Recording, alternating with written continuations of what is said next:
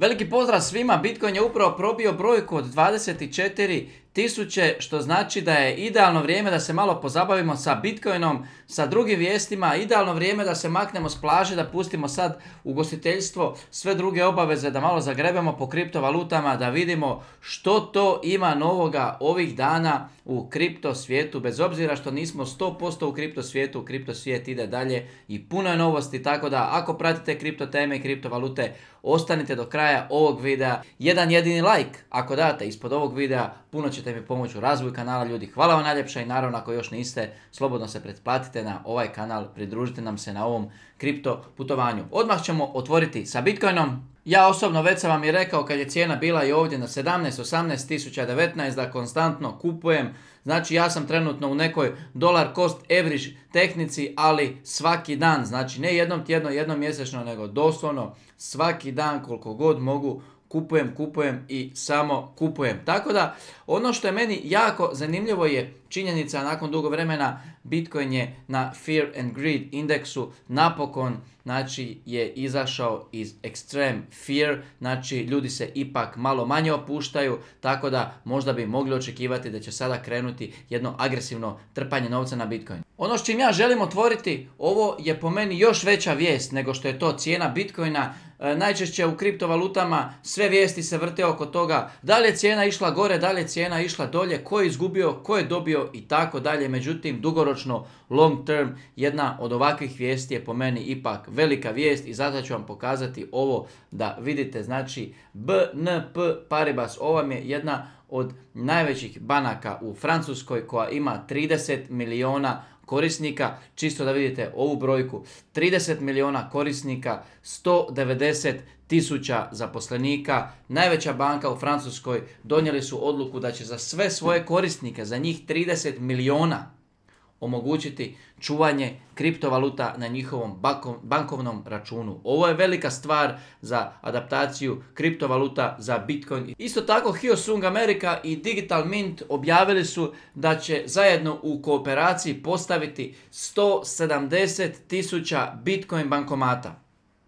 170 tisuća Bitcoin bankomata. Zamislite. Dok milijarder Thomas Petefi kaže da kreće i on u agresivnu kupovinu Bitcoina. Jako zanimljiva stvar je ta da je treći po redu e, Bitcoin novčanik, mi ga već dugo, dugo vremena spominjemo, ne samo mi ovdje, nego u cijelom svijetu je on poznat kao treći po veličini Bitcoin novčanik. Opet je kupovao Bitcoin.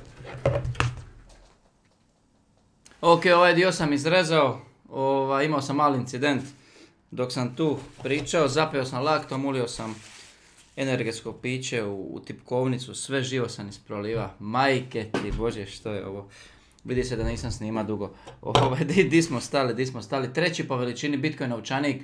E, kogod prati kripto svijet duže vremena, čuo je sto puta već za treći po redu Bitcoin novčanik. Bitcoin novčanik još kupio Bitcoina, još toliko miliona, još toliko miliona i tako dalje. Treći po veličini. Više nije treći po veličini nešto je prodavao u zadnje vrijeme i sad je, sad je četvrti po veličini, tako da eto ga i to smo riješili. Bitcoin.com lansira novi projekt Bitspin Casino, idu u veliku ekspanziju u ovaj svijet, a Crypto.com dobio je zeleno svjetlo od regulatora u Italiji na ekspanziju, tako da iz Crypto.com se opet očekuju neke pozitivne vijesti, iako ja im još nisam oprostio ono agresivno otpuštanje ljudi, rezanje radne snage, tako da tu su ipak za mene osobno pokazali da su pi, ali dobro, idemo dalje. E, što smo još propustili? Polygon Matic i Disney su išli u suradnju, Polygon je išao jako u zadnjih 7 dana, ova vijest je stara jedno desetak dana, tako da to još nisam ni prenio. A Binance je prestigao Coinbase po količini bitcoina na stanju.